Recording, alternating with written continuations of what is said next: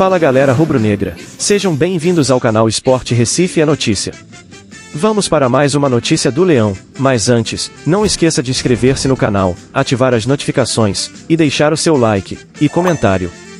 Assim, você fortalece nosso trabalho, e ainda fica por dentro de tudo que rola nos bastidores do maior do Nordeste. Ceará, Esporte, duelam na próxima quarta-feira, às nove e meia da noite, na Arena Castelão, pela primeira partida da grande final da Copa do Nordeste 2023. E na segunda-feira 16, a CBF definiu quem serão os responsáveis por comandar a arbitragem da decisão mais importante do calendário do primeiro semestre do futebol nacional.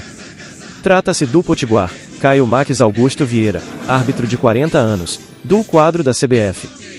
A decisão pela taça será o quinto jogo que Caio Max apita no Nordestão, Neste recorte pelo certame regional de 2023, o Potiguar foi o árbitro principal nas vitórias do Ceará por 3 a 1 sobre o Sergipe e do Esporte por 2 a 0 diante do Náutico.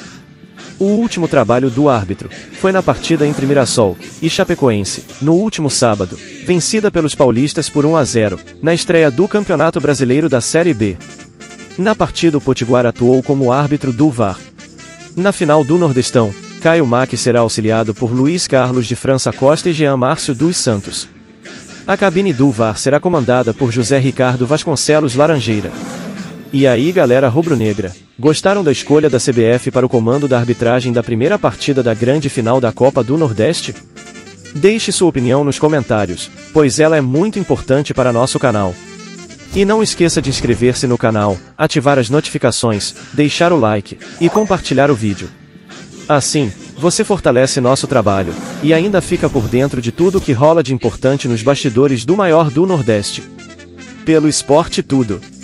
Até a próxima!